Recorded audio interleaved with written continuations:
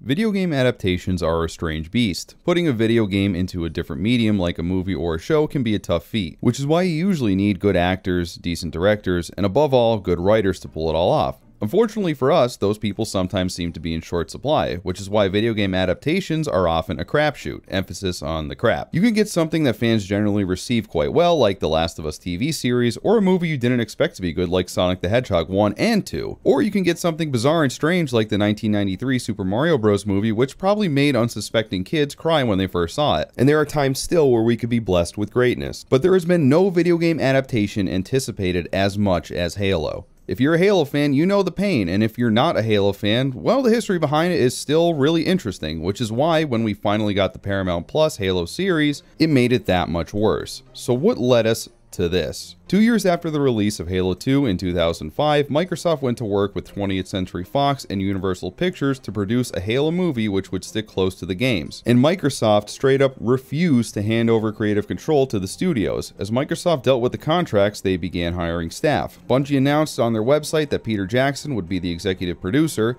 and this was right around the time when Lord of the Rings movies were being released, so everyone was rightfully freaking out, in a good way. Mr. Del Toro was originally hired to be the director, but that fell through and eventually Neil Blomkamp, future director of District 9, was brought on instead. Also, the great Oscar-nominated Alex Garland would be the lead writer for the script. Everything was in place for this to be one of the greatest gaming films of all time. Then fate took a huge dump on everyone. Fox and Universal got upset about the cut of money that Microsoft and Jackson would be taking, and eventually they parted ways. Blomkamp then openly stated in 2007 that the Halo movie was dead. But the Halo adaptation legacy doesn't stop there. After Halo fans were depressed that the Jackson and Blomkamp Halo movie was never happening, we were again teased by another Hollywood giant, Steven Spielberg. In 2013, it was stated that he would be the executive producer of a Halo TV series, and to make a long story short, that didn't happen either. Years passed, Bungie was gone, 343 was busy making Halo games, and all the talk and rumors of a full-on Halo movie or TV show went silent. Besides a few one-offs or short series that were hit or miss, it looked like we were never getting the true Halo movies or shows we so desperately wanted. The fan base was furiously edged for years and ultimately abandoned, in hopes of a Halo movie or series faded.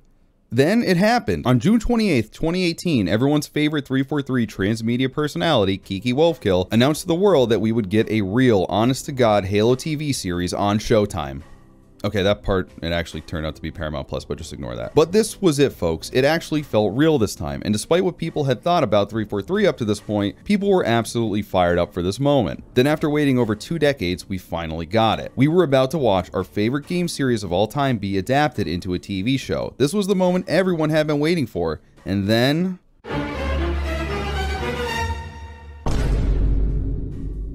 Paramount Plus Halo TV series was received as one of the worst pieces of gaming media that people had ever laid eyes on. Ass shots, finger blades, Chief having sex with a war criminal, more ass shots, MacGuffins, a lack of action, and Kwan. It was a mess unlike anything that Halo fans had anticipated. But why exactly do people hate the Halo TV series? What actually made it so bad? Well, today, folks, we're going to answer that question and find out the honest and true reasons why so many people hate the Halo TV series. We can't critique each and every episode, but it would bypass some of the major overall issues with the show. And in explaining these major issues, we'll be able to paint a better picture of the true reason that this show was so hated. And with season 2 well on the way, what better time than now to talk about it? To start, we have to discuss one issue that we simply won't be able to avoid or look past as it's so pervasive and critical to the entirety of the show that it doomed it from the start. Remember when I said in the beginning that a video game adaptation is really only as good as its script? You can have all the action, beautiful CGI, and cool set pieces that you want, but at the end of the day, the most important thing is the script. So now I'm sure you're wondering who was tasked to do this? Who would take one of the greatest and most beloved games of all time and write a script fitting of its legacy? The ones responsible for the writing behind the Halo TV series are as follows. Writers Steven Kane and Kyle Killen, and executive producer Kiki Wolfkill. Now, the drama surrounding the Halo TV series really all started when this infamous news article dropped, and I'm sure you know the one that I'm talking about. It's the one where the showrunner, Steven Kane, stated that the entire creative team did not look at the games for any of their writing. The exact quote was, We didn't look at the game, we didn't talk about the game, we talked about the characters and the world, so I never felt limited by it being a game. Now, a lot of people who defend the show and the showrunners will argue that this was taken out of context and that it didn't mean that they threw away the games altogether. It was simply that they weren't going to follow the stories of the games, but I think it shows us something much worse. The fact that Steven said, quote, so I never felt limited by it being a game, end quote, already shows that he doesn't respect the medium that he's adapting. Thinking that a video game story is limiting is a frankly false assertion and really shows a disconnect in the writing philosophy right from the start. Even looking past Halo, other games tell amazing and emotional stories, ones that might stick with us more than a movie or a show would. And with something that has such a vast and deep lore as Halo does, I find it very hard to describe Halo as limiting. So when your showrunner who's adapting your favorite game says it would just kind of get in his way, that's a problem. However, even if we write this off, let's just say Steven didn't mean exactly what he said, it gets worse. Enter 343's very own Kiki Wolfkill to wrap up this cluster with a quote of her own. The exact quote from our girl Kiki was, Early on, we were thinking about doing something that could tie very closely with the game. What we were finding was trying to verbatim stay with everything that comes before wasn't serving the medium. It also wasn't serving the creative teams and their need to express a story and build the world through their eyes.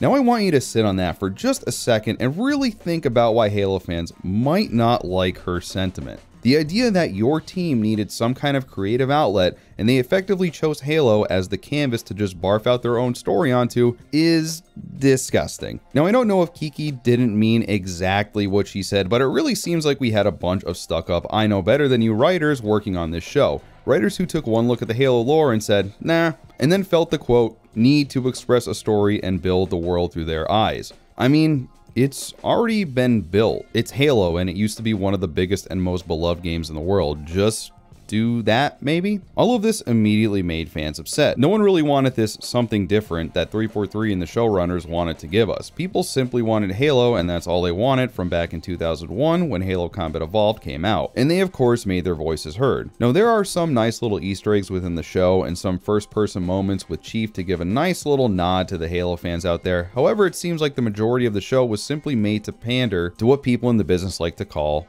the broader audience, meaning that you can watch this without even knowing a thing about Halo, and the characters that you know and love from the game, they just aren't here anymore. They were replaced with pandering, corporate signed off, focus group appeasing husks that only kind of resemble your favorite characters, sometimes in name only. You'd be hard pressed to match up almost any personality traits between the game characters and their show counterparts. There's also points in the show where you just know the writers were going for that Game of Thrones sex and interpersonal drama appeal. And with Halo, it just doesn't work. It feels awkward and embarrassing. So after all of this, and just looking at the writing team alone, it makes sense why some people hate the Halo TV series. When you have writers that from the get-go were already saying that games are limiting, that Halo restricted them and didn't allow them to express their creativity, they wrote characters that we only recognize by their names, and the fact that this series was getting sex scenes and awkward moments shoved down its throat, you're simply bound to piss a lot of people off. And again, this is the writing. It's something you literally can't look past. So now that we know the writer's outlook on the games, the next question is obviously, what did they end up giving us? Well,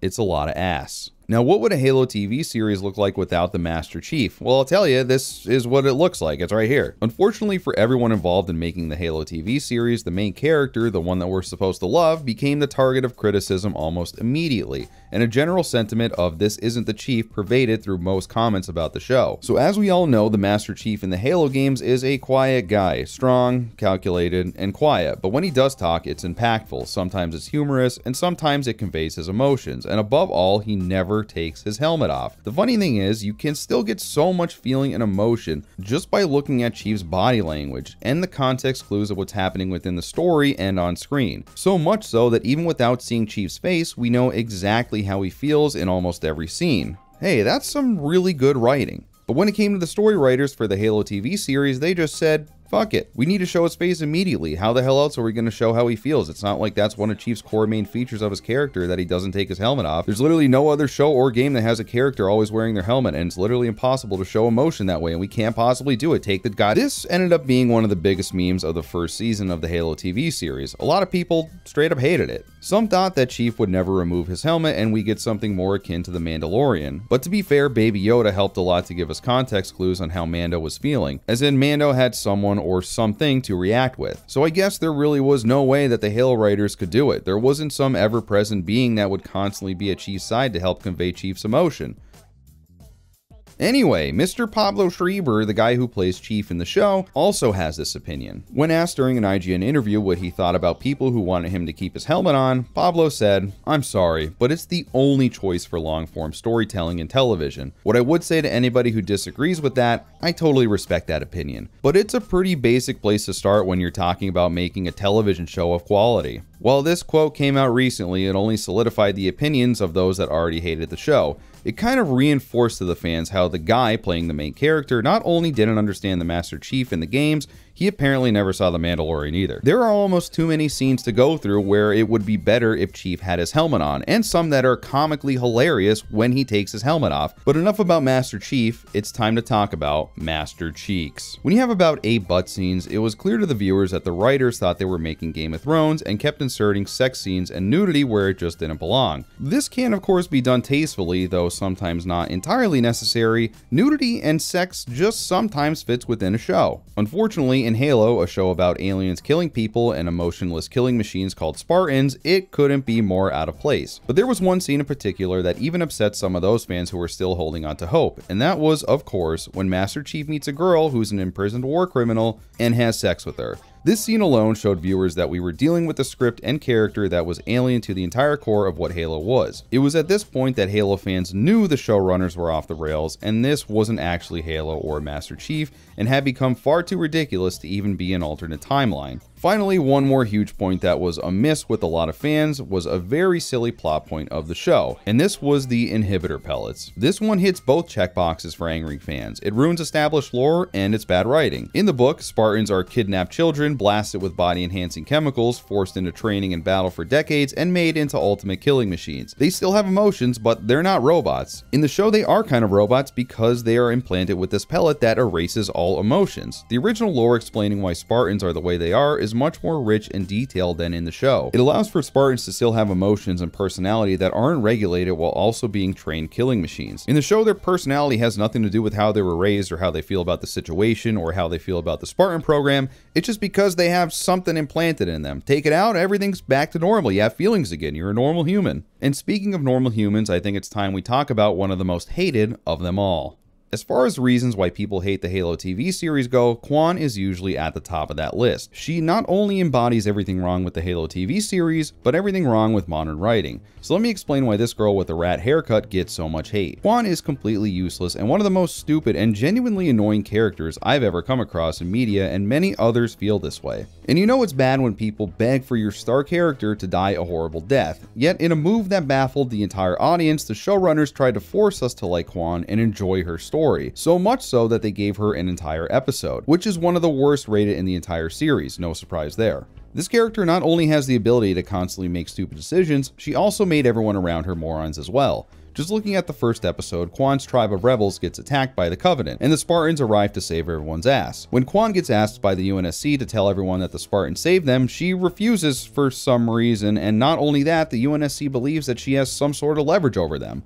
I honestly don't understand why they didn't just kill her right there. Then in that same episode, Kwan somehow befriends John Halo and causes him to remove his helmet while she's pointing a gun at him. So Kwan really gave a bad first impression from the start and then show writers didn't make it any easier on us. Kwan is constantly at odds with people who are willing to help her, yet shows little to no compassion or thanks to anyone around her. In one episode, a Spartan, Soren, is trying to get Kwan to safety, but Kwan knocks him out and threatens to kill him. She's selfish, loud, and annoying, yet we are constantly shoved away from the main story to be forced to watch more of Kwan. It's kind of hard to understand what Kiki Wolfkill and the gang had in mind for this character, but we can probably guess. Modern writing and shows usually require a strong female character by default, not out of necessity for the story, but for checking off the socially acceptable box. The only problem is modern writers, especially the ones writing Halo, have absolutely no idea how to write a strong female character.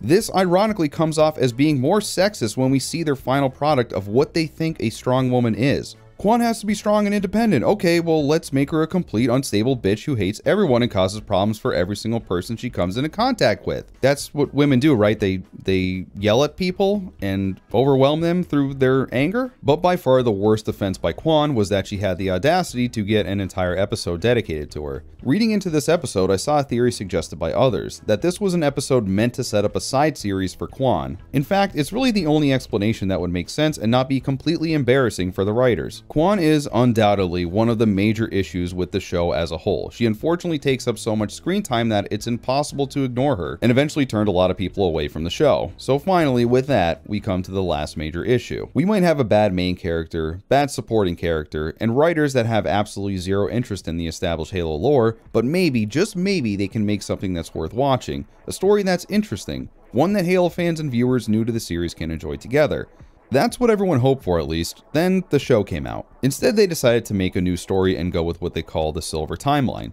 Even without going through every single episode, we could pick out so many odd writing decisions in this show that it's really no wonder that it didn't work for a lot of people, fans of Halo or not. For instance, the entire character of Chief is written quite poorly. The Master Chief in the games knows exactly what he has to do to get the job done. In the show, he's whiny, angry, and unsure of himself half the time. His arc is even worse. He starts out as a suppressed, emotionless Spartan, then removes his pellet, has some feelings, has sex, but then by the end of it, he just gives up. Like the Master Chief isn't enough to fight off the Covenant, he has to give his body to Cortana. I don't know, this part where Cortana took over Chief's body was confusing and frankly stupid and completely ruined his character. Not to mention everything that led to this point was pretty ridiculous as well. We're introduced to a MacGuffin in literally the first episode, an artifact that Chief touches and it just magically moves the story along which is literally on the nose for what a MacGuffin is. These kinds of things can be done well, but here it is not. It quite literally forcefully shoves the story along. Oh, Chief is trapped in a disabled ship? Well, he could touch the artifact and we'll fix that ship right up. Oh, Chief doesn't remember his family? Oh, touch the keystone, everything's remembered. It might be worse than that suspicious looking thing from Picard. All of this plus the forced interpersonal drama, the love scenes, the annoying coming of age Kwan story, the Makee Covenant relationship plot, all of this, it just doesn't work. And it makes the fact that this is a Halo show even more confusing. What you really need at the forefront is the idea of the Covenant being a dominating and looming threat, forcing humanity to band together as the UNSC, humanity's last hope. The Spartans could have their own relationships with each other, we could see how humanity struggles through this truly dire time, how regular humans are forced into battle against these monsters, and how devastating it is to live through. You simply don't get any of that from the show. The only interesting thing we get is the morality of the Spartan program, I guess, but the writing around it is just so awful and it's just done so much better in the books that it's hard to ignore. Can a Halo show be done that completely ignores the story of the games? Possibly, but this is not the way to do it. Now, we all know the meme ODST, gritty, Band of Brothers show. Yep, we've heard that now about a million times. We get it. But fans have begged for years for a show just to be Band of Brothers, but with ODSTs and dark and gritty. Don't forget that. But the funny thing is, that would have really worked 100 times better than the Halo TV series did. And at the very least, it would have felt more like Halo. You can clearly see this by how much fans absolutely love the ODST ad that came out back 14 years ago. In those two short minutes, this ad elicited more emotion than the Halo series did over nine episodes. The cinematography, the CGI, hell, even the story, it's so impressive how they pulled all of this off. I know that fans constantly ask for a gritty ODST show, but this single two minute commercial is why, and you can't blame them. It's kind of sad to think about this because we were constantly given glimpses of how good we could have had it.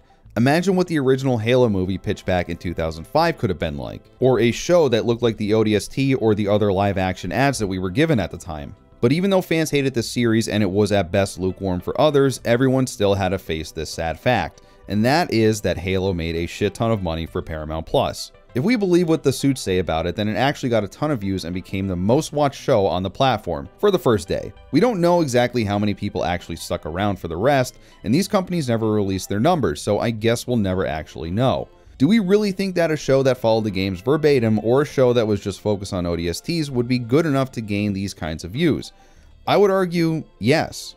I mean, we will never know for sure, but I could say that we already got millions upon millions of fans that actually play the games and love those stories. So, the problem is that doesn't matter anymore. The Halo series is here to stay, and it's all about what will make the most money while the writers get to have their ego stroked working on an IP that they don't deserve.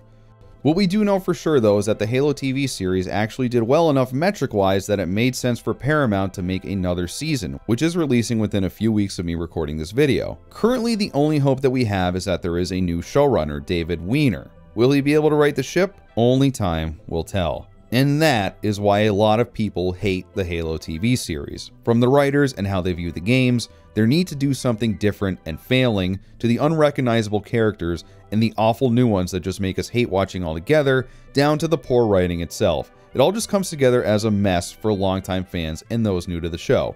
I, for one, couldn't imagine if this was my first introduction into Halo, but that's just me. Will Paramount learn from their mistakes, or will this be the last season of Halo that we are beaten down with yet again? What I do know for sure is that I will make a video about it. Either way, I hope you enjoyed the video. Like and subscribe and do all that stuff. I am pushing, I'm making a concerted effort to get to 10,000 happy and satisfied subscribers by the end of 2024. So let's make that happen. More videos coming soon. Bye bye.